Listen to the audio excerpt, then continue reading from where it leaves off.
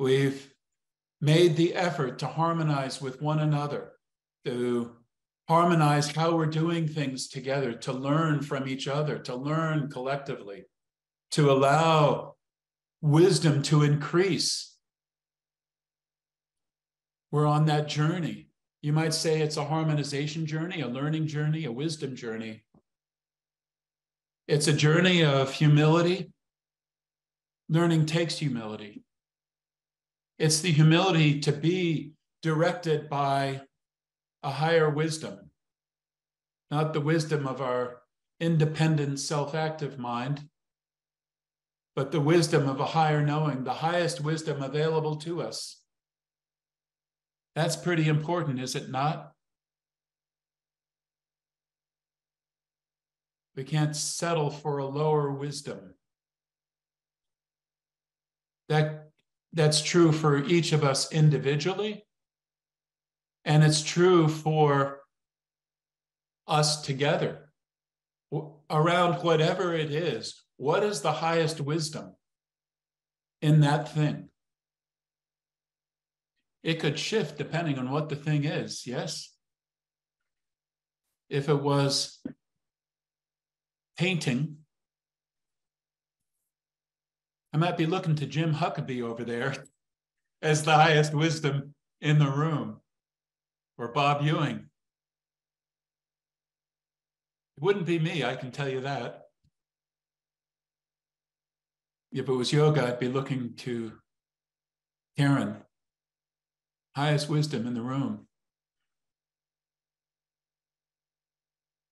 It applies to our community.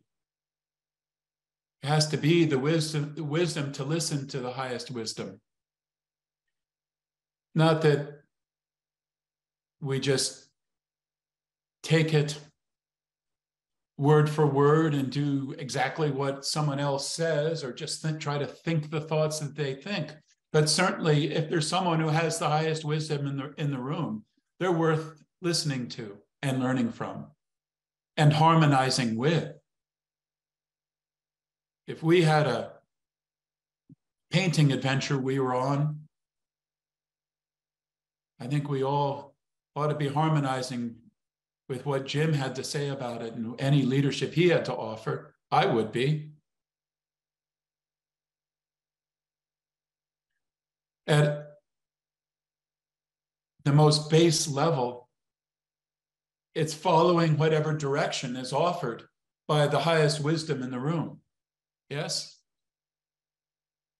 If there's guidance being offered, it's listening and following that, that guidance. That's the most basic level.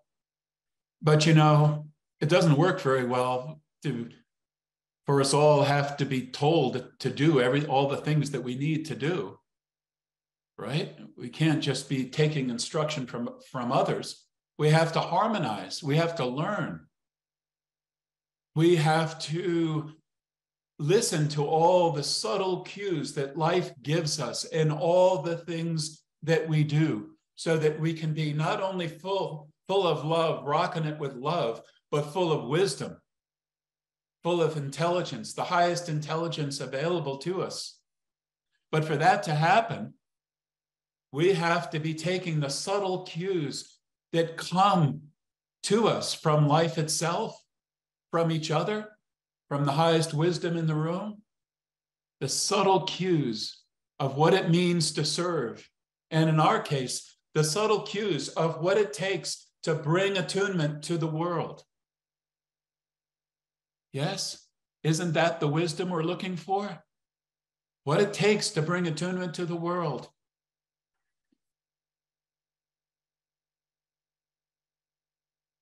If we are in earnest doing that, we take those subtle cues, we watch and listen.